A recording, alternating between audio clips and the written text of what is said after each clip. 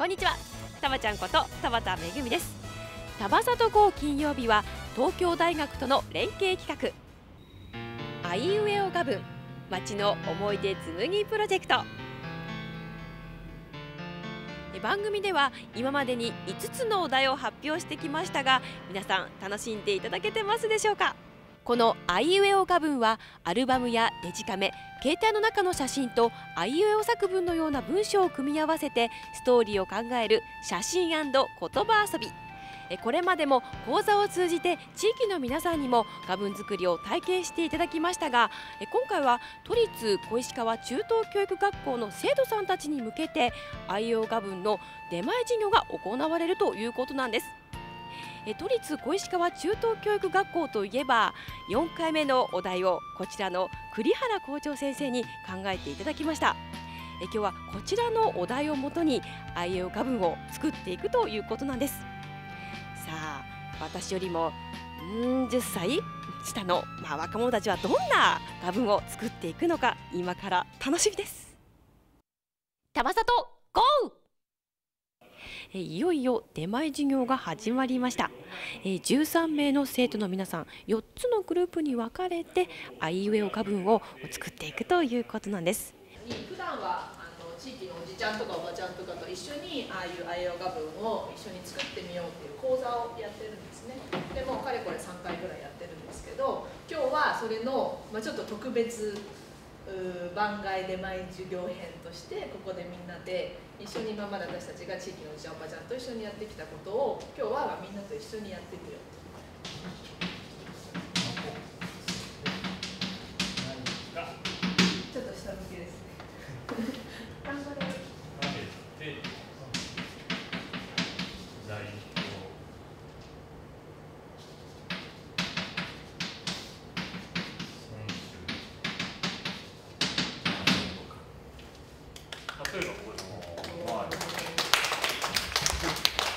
ので、えー、お題はこの写真で橋渡しのシンボルから始まる「は」はいいです2枚目3枚目の文章と写真をこれからえー、取ってきていただきたいいよいよ説明の方が終わりましてそそれぞれのグループの中でこれからあの写真をねどの写真を使うのかということで携帯を使ったり他にいろんな資料を使ったりとどうしようかとみんな一生懸命悩んでるところなんで私もちょっと覗いてみたいと思います。で今一生懸命携帯の中のデータの写真をなんか選んでるのかな、はい。ね、ちなみにどんなものをこう今なんとなくイメージしてる？え和、うん、和で。そうハワイの和だよね。ハワイ。なんか ワンコとか。そうかワンワンね犬だもんね和だよね。はい、それいいんじゃない？ちょっと可愛い。ねうごいよいよ動き始めた生徒さんたちもいますよ。ね。さあちょっと何を取りに行くのかな？ちょっと気になるけど。何をえターゲット？ますか。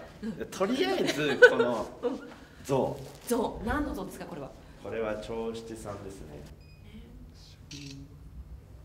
まあいいんじゃね取れた。ちゃんと保存しといてあは保存しますよそした？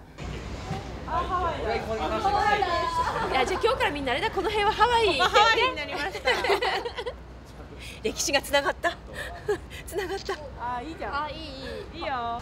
えもっともっと動きが欲しい。動き動き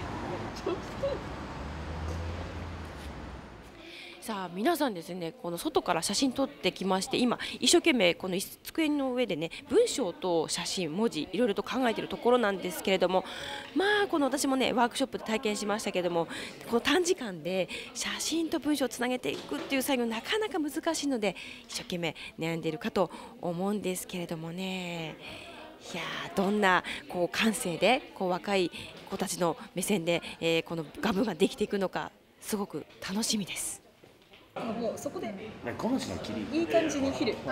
そうそう。あえて何そう何詳しく言わない、うん、皆さん、えーと、と大体のグループで出来上がりつつあるんですけれどもまだ写真が印刷が終わり終わってきます終わってのがあります。後ろから形容詞就職する福祉的合法的には過ごすだからはい、はい、それでは皆さん無事全グループが出来上がりました、お疲れ様でし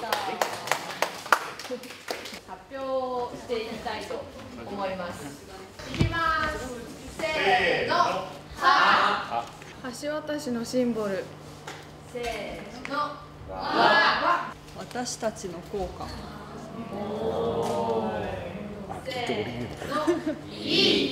いつまで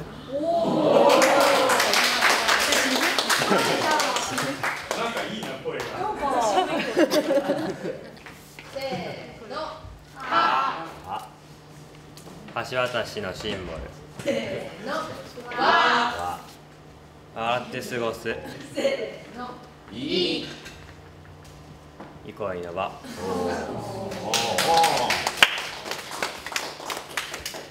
うちの班の時代書くんがちょっと思いついて、まあ、それでいいなとみんな思って作ってみました。橋渡しのシンボル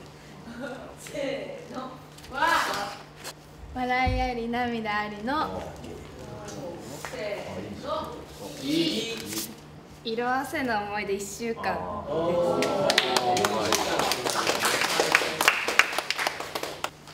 はい。せーの。橋渡しのシンボル。せーの。忘れないよ。せーの今も笑顔。なんか菅君立ってもらったらすごくいい感じになったんで。すごく笑顔が。1枚目にも3枚目にも白の木が出てきてるのはここだけじゃないいいんじゃないでしょありがとうございました。すごいいい笑顔してんな。いい直線してるそこかよやっぱりお前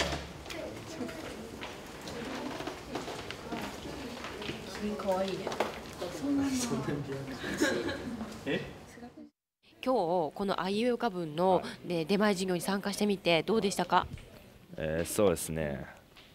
まあなんかよ最初よくわかんない正直言うと講座だったんですけどまあなんかの思ってた以上に楽しめてまあなんかいろいろと協力もできてよかったですよ。参加してみていかがでしたか？あすごい面白い発想というかあのいい写 こういう写真見る機会はあんまりないのでいいことだなと思いましたじゃあまたなんかチャレンジしてみたいと思ったりした？あそうですね。はいぜひ。感想を教えてください。と写真と文章を組み合わせるのが難しかったけど楽しかったですまたやってみようと思う？はい思います。はい、さあ今日はあいうえおか文参加してみていかがでしたか？あはいあの今日は学校でやったんですけどこれあの地域の人と一緒にやったらなんかいろいろ会話もできるかなと思いました。あの、はい、今やった時もやっぱりあんま普段話さないんですけどこういうことやると話す機会ができるのでまああのこういうの地域の人で一緒にやってみてるの面白いかなと思いました。ありがとうえということでえ今回は都立小石川中等教育学校で行われましたあいうえおが文の出前授業の模様をご紹介してきましたがいかがだったでしょうか？いやもう生徒の皆さん本当にユニークな作品作ってましたよね。